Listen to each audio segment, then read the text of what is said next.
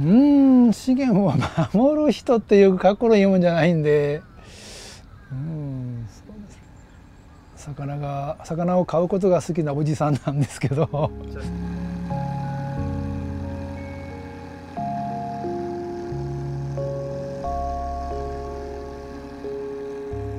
でその当時もすでに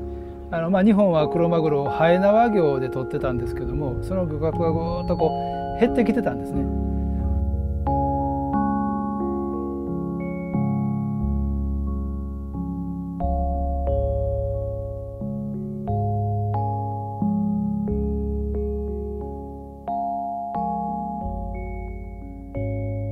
まああの水産庁もやっぱり将来的な危機感を感じてまあ、日本人の大好きなクロマグロをなんとか守らないかんということで養殖技術の開発をスタートさせようとした、まあ、あの今日本のほとんどの養殖業者さんは天然の横を捕まえてきてそれを大きく育てて出荷する。どんどんあの資源をワンウェイで使い切っていってしまうんですけども。でも我々のところではもうこの生けすの中で卵から育てて親に育ててそれからまた次のマグロを自分たちの手の中で作れるんですねだから一切あの資源に圧力をかけることなく養殖ができる。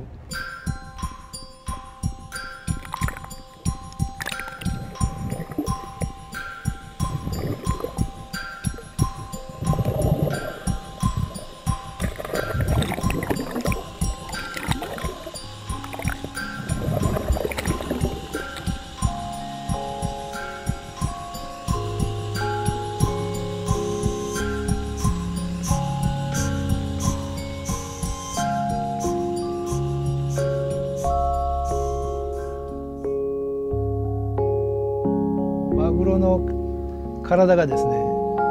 あのスピード速く動く時には全てのヒレが収納できるようになってるんですね。まあ、車で言うたら F1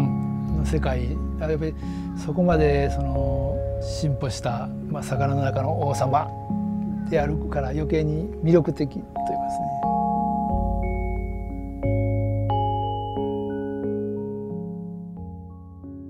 このマグロ実際あの1キロ太るのに13キロぐらいのサバを食べないと太らないですね。非常に効率が悪い。でもまああの豚や牛さんはもっとたくさんの食料を食べないと1キロ太らないんですね。ただ彼らの食べるあの食物は陸上で人間が作り出すことができますよね。でもマグロの食べるサバっていうのは人間が作り出すことができないんです。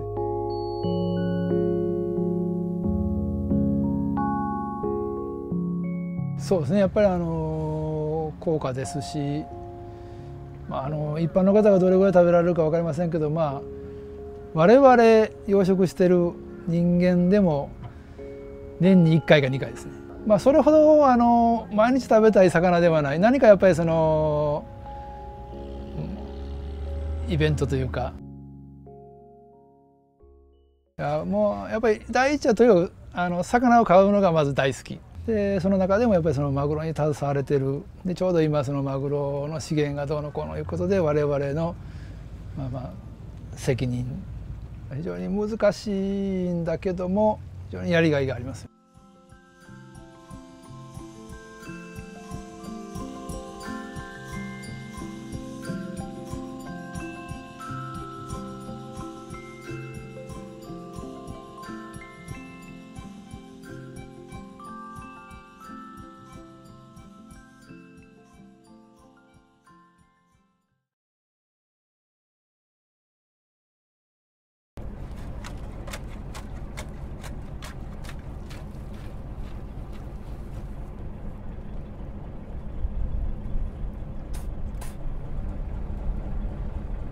Goes.